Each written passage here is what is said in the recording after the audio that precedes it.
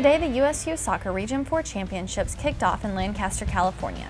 248 boys and girls teams took to the field, all with the hopes of capturing a Region 4 championship and advancing to the U.S. Youth Soccer National Championships in Lancaster, Massachusetts. Under 19 boys, WSM Gunners of Oregon were up 1-0 over River City SC of Washington going into the half after a last-minute shot from Antonio Velasquez in the 40th minute. It wasn't until the 82nd minute that WSM was able to knock another past the keeper. River City's Nicholas Hamer contested two minutes later with a shot of his own, but it wasn't enough to pull through with a victory. WSM 1-2-1. The under-19 boys New Sport of Nevada knew today's game would be a challenge as they faced the defending U.S. Youth Soccer Region 4 champions, Cisco Toros of Arizona. The Toros came out strong with an 18th minute goal by Nicholas De Leon. Teammate Antonio Valera netted another in the 48th minute. Brian Green pushed the Toros to 3-0 with a 70th minute goal and they capped off the 4-0 victory with Alfredo Rico's shot in the 78th minute. It was a sole goal that decided the game between California South's DMA 11 and Colorado Rush Nike in the under 19 boys age group.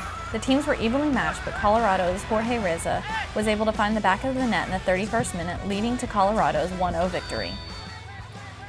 We didn't know too much information about this team, so we just tried to figure them out at the beginning. We struggled a little bit with them with their pressure, but we were able to hold them off.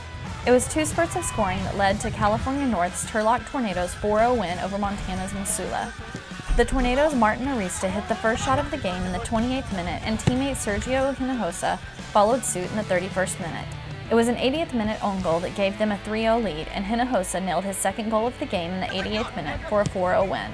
It was great being the, the, the one that scored, feels good, and just having the two goals in makes it a great day. Cross-state California teams met today in the under 15 girls age group. From the south, it was the Slammers FC, and from the north, it was Mustang Rage. Slammers Aubrey Baker opened the game in the 12th minute with a cross off the tee.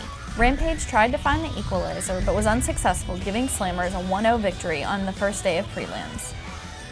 The under 15 girls Koi Express from Hawaii and Sereno 94 White from Arizona held each other scoreless until the 76th minute when Tiana Fujimoto shot one in for Koi. Catherine Boyle hit Sereno's equalizer in the 80th minute. Neither team was able to finish another shot and the game ended in a 1-1 draw. Under 15 girls Colorado Rush Nike and LeBois Jinga of Idaho both put forth equal efforts denying each other's shots. Colorado's Lindsey Huron hit the game's lone goal in the 75th, leading to Colorado's 1-0 victory. Well, we want to try to make it to the finals. That's our goal. Rio Vista FC Eagles of New Mexico entered the Region 4 Championships with an agenda, and that was to make it to the finals. Uh, it's been an exciting year. You know, I've been travelling all year to tournaments and trying to prepare for this event, and we're fortunate enough to win State Cup in a, an exciting game.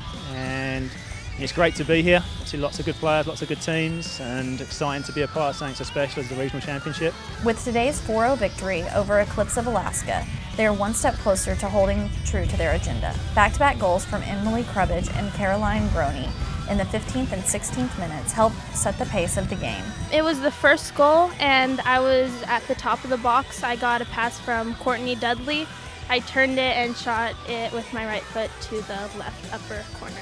A 62nd minute goal from Ashley Williams extended their lead, and Brownie's second goal of the game in the 71st finished off Rio Vista's 4-0 win. It's been great. I mean, you know, you're putting together the best teams from each state, so the competition is always really high. And I think, you know, with it being regionals, it adds that uh, kind of flavor of competition and, and fight and willingness, you know, just to kind of be the champion of the region. So it adds a little bit of uh, extra aggressiveness, if you will, to the game.